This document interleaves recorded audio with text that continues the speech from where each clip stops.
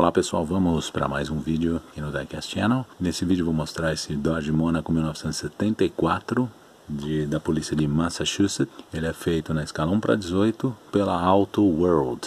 Vamos tirá-lo da caixa, mas antes disso já vá compartilhando, deixando seu like, se inscrevendo no canal e ativando o sino também para as novidades. Vamos lá. Bem, tiramos o Monaco da caixa. Ele é um Monaco 74, como aqueles outros que eu já mostrei, inclusive aquele que eu estou restaurando, que está em fase final. E realmente é um carro muito bacana, é um sedã grande, concorrente do Galaxy nos Estados Unidos e muito usado para viatura de polícia por ser um carro robusto resistente. E nós notamos aqui nessa miniatura a qualidade aqui dessa grade, dessa frente do carro que foi feita com muito realismo, os faróis muito bem feitos, aqui as garras do para-choque. Esse carro não tem aquelas push bars que vão aqui. Tem aqui as duas setas, essa grade aqui embaixo e a placa que fica aqui do lado direito.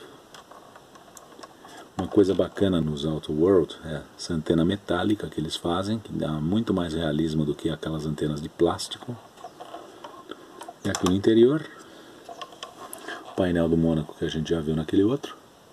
O interior dele não tem a forração de teto, ele tem na verdade uma, uma pintura, um acabamento no vidro, né? que é o justamente que eu estou fazendo naquele que eu estou restaurando, que não tinha nos mais antigos, nesses mais novos já tem. Aqui dentro, abrindo a porta traseira. Isso é uma coisa bacana também, ele abre as quatro portas. Banco traseiro, eles não têm os cintos, mas tem umas forrações bem feitas, bem reproduzidas. Esse modelo, inclusive, ele tem um carpete aqui dentro, o que é muito legal. E a parte traseira do Mônaco, aquelas lanternas que a gente já viu em outros detalhes, né, que acabam mudando um pouco com, conforme os anos passam.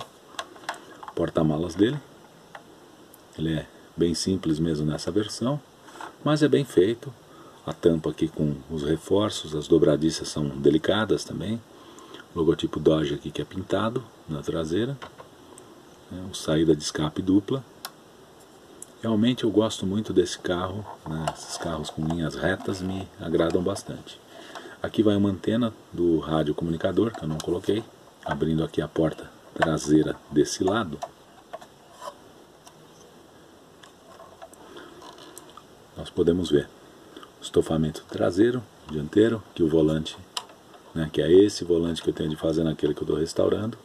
O painel do Mônaco, muito bacana também. Aqui aquela spotlight, que é muito usada nos carros policiais, né, nos carros de polícia. E o retrovisor, dentro da proporção correta. As rodas com calotas. Gosto bastante dessas rodas, tudo. Sirene aqui do teto que era bem da época. Agora a parte de baixo desse carro. Aquele padrão que a gente já viu nos outros Mopars, que é essa parte aqui da mesma cor da carroceria, essa faixa, e a parte do meio mais em cor de primer. Esse modelo tem o cardan fixo, o motor e o câmbio estão aqui, estão bem detalhados também, né? Esse aqui é o 440. Aqui o sistema de direção que esterça com o volante. Aqui os detalhes da suspensão dianteira, traseira. Essa suspensão não tem molas, ela não é funcional, mas ela simula muito bem essa suspensão verdadeira do carro.